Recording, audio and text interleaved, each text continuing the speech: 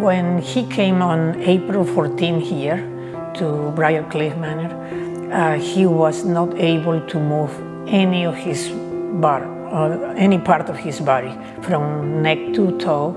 Therapy said, Carlos, leave your hand. I can do it, do it like this. This is the only what I was doing in April.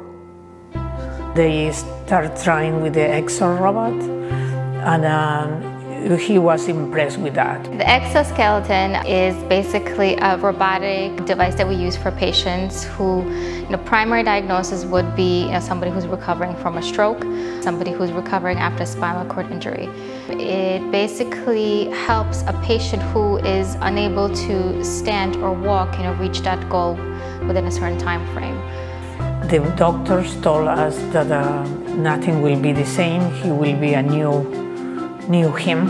When I saw that the first time, I knew that everything is coming back. This is the beginning of the best. One day I came and he always was telling me stories, the progress, how he was. Every day I come. One day I said, okay, so let's show me. He stand up with a walker and he start walking. Walking, walking. Wow, everybody happy. All the people happy. You know, the team work over there, perfect. 24, I remember 24 steps. Then he started with uh, 48 the second day, 96. It was duplicating the numbers.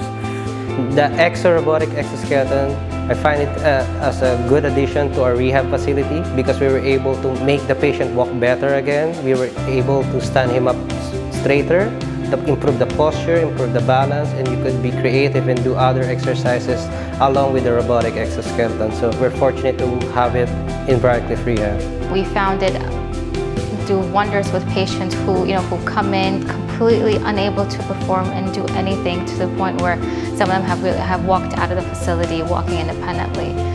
Being to no movement to back to normal life. And this is impressed. And we are very impressed on this.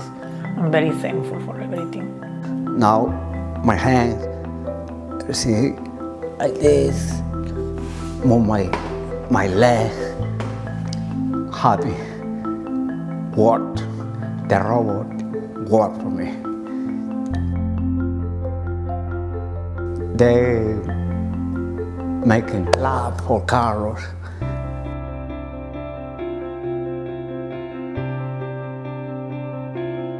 Now we have, you know, the result.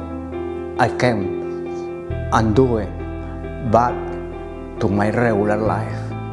Thank you to my therapist. Thank you to everybody.